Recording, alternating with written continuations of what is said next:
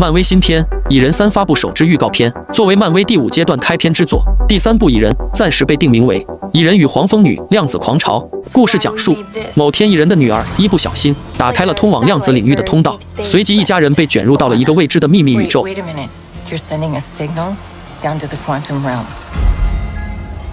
Turn it off. Now!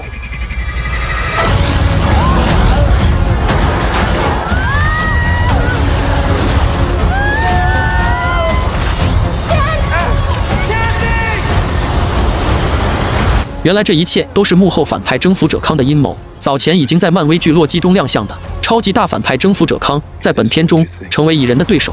他要求蚁人帮他去偷一件宝贝，并以他女儿及全家的性命相要挟。估计这次蚁人被征服者康虐得不轻，蚁人与黄蜂女一家最终是否能逃出征服者康的五指山呢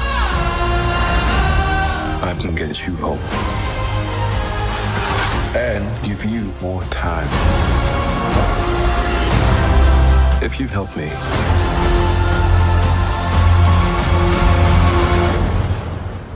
So, what's it gonna be?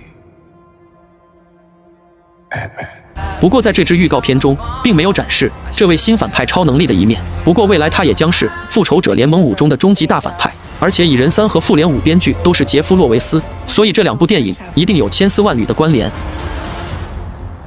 There's something I never told you. 自从漫威电影打通了多元宇宙以后，故事讲得越来越天马行空，只能靠想象力和视觉特效来吸引观众了。所以，蚁人三最大的卖点应该是视觉特效，因为是一个从未踏足过的全新量子世界，几乎每一帧画面都需要通过后期特效完成。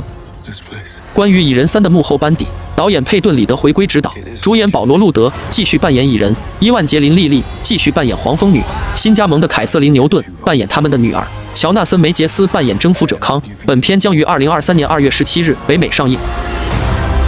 If you help me.